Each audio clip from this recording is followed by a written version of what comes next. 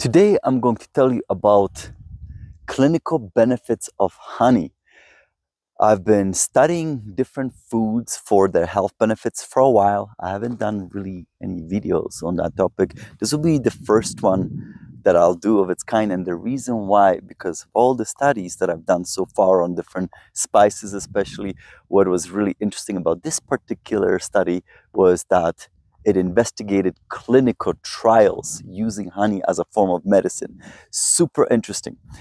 Obviously, we all know how healthy honey is. We're going to get into interesting details of how it has been used clinically as a form of medicine. We do know that honey has antioxidative properties. That's really good. It has anti-inflammatory and antimicrobial. And by that, I mean it's both antibacterial and antiviral. So great benefits.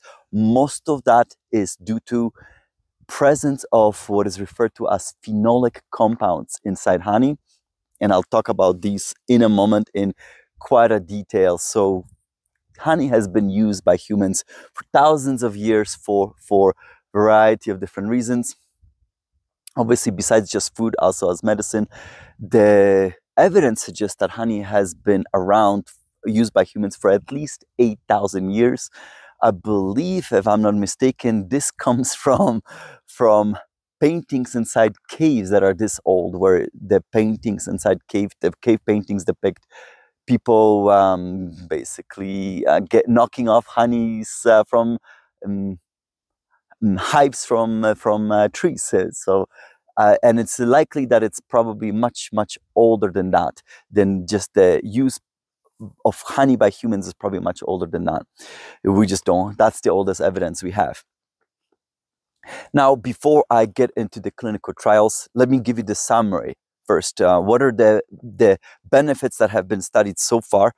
Number one, the, it's the cardiovascular and metabolic risks improvement. Number two, this is really, really interesting, Glu improvement in glucose tolerance. So this is great uh, information for people with diabetes. Uh, number three, improvement in mu mucositis. This is inflammation of the lining inside your mouth and, and throat that is especially common in uh, cancer patients who uh, have to take chemotherapy for certain type of cancers.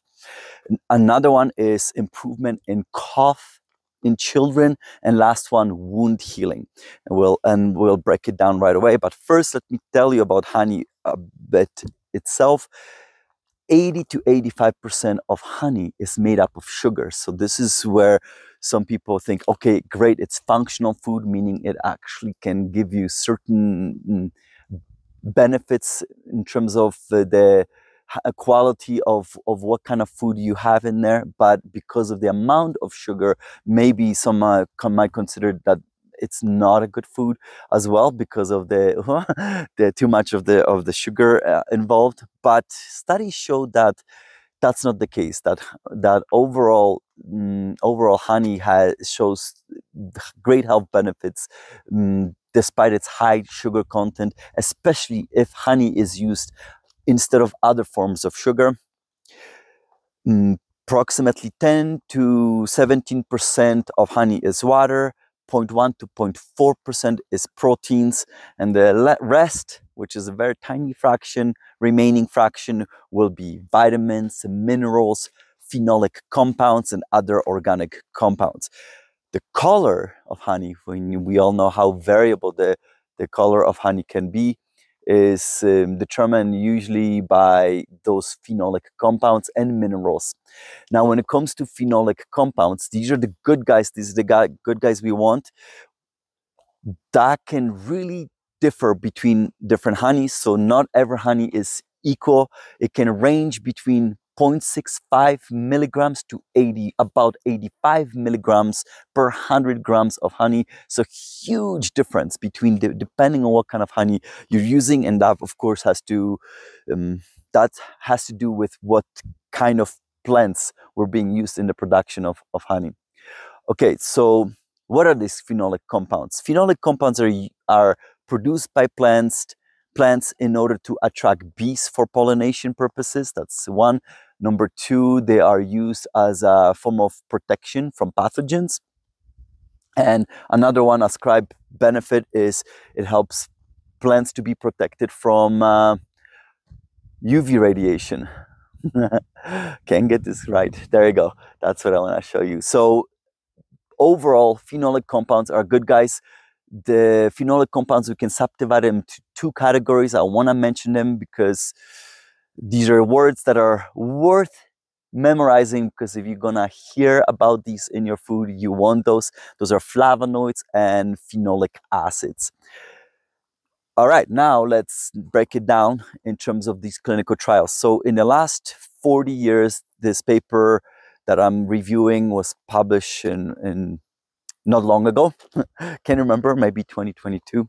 Uh, in the last 40 years, so from 80, 1985 till maybe 2022, there was about four, 48, just under 50 clinical trials done with honey. It sounds great, that number. The only problem is, is these are usually very small number. The total number of people involved in all of these 50 trials is just barely under 4,000. So I think it was 3,655 patients were studied. That's a very low number over so many years of studying. So that's quite unfortunate. Why, why is that? Because the larger that number, the better it is for us in terms of statistical accuracies of what we're gaining. Mm, we want these numbers to be much, much bigger than that. And unfortunately, it shows you that science in general is just not really interested in studying honey as a form of medicine. That's unfortunate. I can explain that because so far what has been studied looks extremely positive. Okay, so then let's break it down in terms of what I told you, these five benefits. So cardiovascular and metabolic uh, uh, issues. So it show honey has been shown to improve the lipid profile in people. So that increases your low density lipoproteins or the bad cholesterol. And as a consequence, improves the high density lipoproteins or good cholesterol. It is believed that the reason why high, the HDL, high density lipoprotein, increases is because you no longer need to use it up to grab the cholesterol from low density lipoproteins or your cells and move it to the liver. So now you have more of it available to the circulation. It also improves BMI index in people who use honey instead of other forms of sugar. So it's great for weight loss reduction. So that, that's an interesting one. And um, flavonoids are considered to be one of those benef- beneficial compounds there in terms of improvement as well. Besides the LDL, flavonoids have other benefits. They help to dilate your blood vessels. That's one. They also, let me try to make sure I remember this. Um, mm, they reduce the platelet aggregation, so clotting as well. So that's that's another benefit, and they reduce oxidation of your low density lipoproteins, which is a bad thing for, for them. Oxidation in general, while we can sometimes use it as a weapon to fight um, fight uh, infections or or uh, come back, come back, come back, or uh, or work uh, against say fighting cancer cells. If we have too much oxidation it can be dangerous as well. So oxidation in general can be bad if if it's not properly controlled. So flavonoids can reduce that as well. So the consumption that in these studies was about 70 grams of honey per day uh, in terms of uh, seeing these beneficial effects for for the cardiovascular uh, conditions. Um, all right so that's that's that fun. Let's move on to the next one, and that was um, uh, the fact that um, honey improves glucose tolerance, so it's anti-diabetic. So what does it do? It reduces actually it reduces glucose levels in your body this is an interesting one because it's so high in in glucose and That's number one. It increases level of insulin, circulating insulin in your, in your blood. So that's also great. And it's also thought that it might, well, it might uh, help, um, it might help uh, heal the beta cells, which are responsible for production and uh, of insulin. So really, really interesting potential benefits for for diabetic patients. I believe the consumption there was somewhere around 20 grams per day uh, in these studies. And why why this might be beneficial? Well, the phenolic compounds is uh, the phenolic acids. They are known to be antioxidants because of their structure, and therefore they can uh, they can neutralize reactive oxygen species. Why is that important? Because it's believed that oxidation and then and reactive oxygen oxygen species they are an important component in production or induction of diabetes itself. So uh, that is that is one uh, positive effect as well.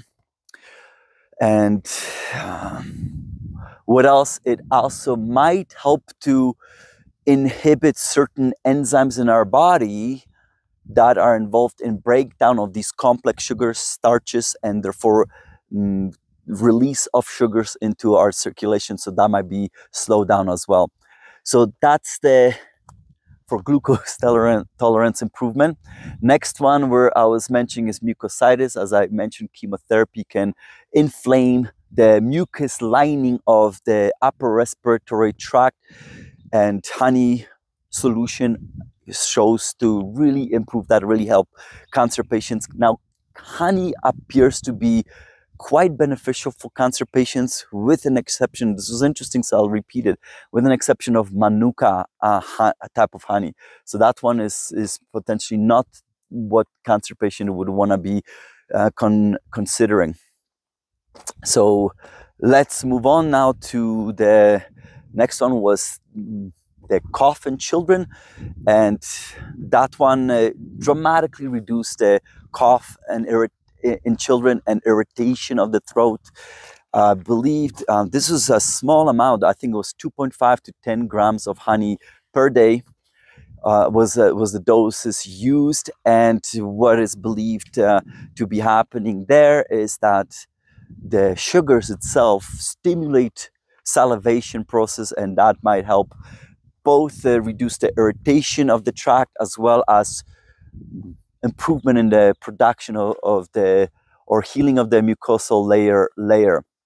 Uh, next one, wound healing. Wound healing uh, was shown to um, help quickly or faster for the wounds to heal, and patients were able to leave hospital hospitals faster um, with with the honey use um, this did not um, was the honey was not better than the pharmacological um, interventions for enhancing wound healing but the benefit here is that honey does not produce any side effects as compared to some of the drugs. Um, and so there you go. That's the summary of the clinical benefits of honey. The one more thing that i thought was super interesting that i I might as well mention to you is that that uh, it was also shown that honey helps to for you to recover faster from alcohol intoxication. And they mentioned 1.25 grams of honey per kilogram of body weight helps you to recover faster if you were drunk. So I thought that was really interesting extra benefit I never knew about. So I thought I would share that with you. Overall, in these studies, these, these studies overall, the duration was uh, average duration was eight and a half weeks. Uh, average um, honey consumption was about 40 grams uh, per per uh, per day, and for topical use, it was about 12.5 grams of, of honey. And um, overall, the authors mentioned that honey could really be an, a wonderful additional benefit for people to consider when they're uh, treating themselves for variety of uh, of the conditions, even like the ones I mentioned, and that clearly we should be investigating this further. But unfortunately, no one wants to put money down for investigating uh, something that you can really um, control in terms of its sale, right? So, uh, which is too bad. I wish we did investigate this these type of studies further. All right i'll wrap it up here. So please share the video if you found this interesting. Please leave a comment. Please give us a like. Please subscribe if you haven't already. And also please check out my patreon account which is the private account. All the videos that come out on youtube are actually almost all are usually pre-screened on patreon account and not all of them make it. My patrons decide what goes on youtube versus not and oftentimes now patrons also determine what uh, where i should focus my attention. And uh, there's additional perks as well of being a patron member so if that is of interest to you please check that out and uh, you can support me that way as well. And i'll see you guys next time. Bye everyone